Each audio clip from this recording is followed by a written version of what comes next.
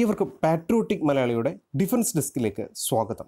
മുംബൈയിൽ നിന്നുള്ള പതിനേഴ് വയസ്സുകാരൻ ഇന്ത്യൻ നാവികസേനയ്ക്കായി ഒരുതരം അണ്ടർ വാട്ടർ ഡ്രോൺ രൂപകൽപ്പന ചെയ്യുകയും പേറ്റന്റ് എടുക്കുകയും ചെയ്തിട്ടുണ്ട്. മുംബൈയിൽ നിന്നുള്ള അർജുൻ മേനോൻ ആളില്ല റീകണൈസൻസ് ആൻഡ് അറ്റാക്ക് വെഹിക്കിൾ അഥവാ യു ആർ വി എന്ന വെള്ളത്തിനടിയിലുള്ള വാഹനം രൂപകൽപ്പന ചെയ്യുകയും പേറ്റന്റ് എടുക്കുകയും ചെയ്തിരിക്കുകയാണ്.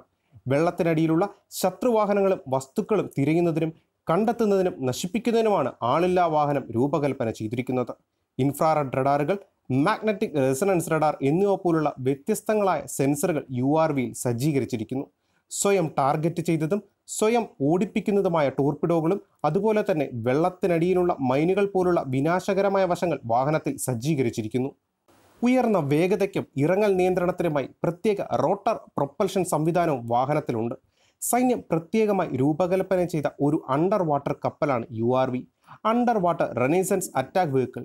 ഇത് സോണാറുകൾ തെർമൽ ഇമേജറി ലേസർ മാർഗനിർദ്ദേശ സംവിധാനം മാറ്റ് തുടങ്ങിയ സെൻസറുകൾ ഉപയോഗിച്ച് മറ്റ് ശത്രുക്കപ്പലുകൾ കണ്ടെത്താനും താഴെയിറക്കാനും നശിപ്പിക്കാനും ഉപയോഗിക്കുന്നു.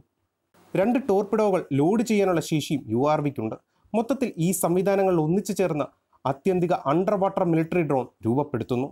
Autodesk Revit Autodesk three D S Max Autodesk Inventor തുടങ്ങിയ നൂതന കമ്പ്യൂട്ടറുടെ ഡിസൈനിങ് സോഫ്റ്റ്വെയർ ഉപയോഗിച്ചാണ് ഇത് രൂപകൽപ്പന ചെയ്തിരിക്കുന്നത്.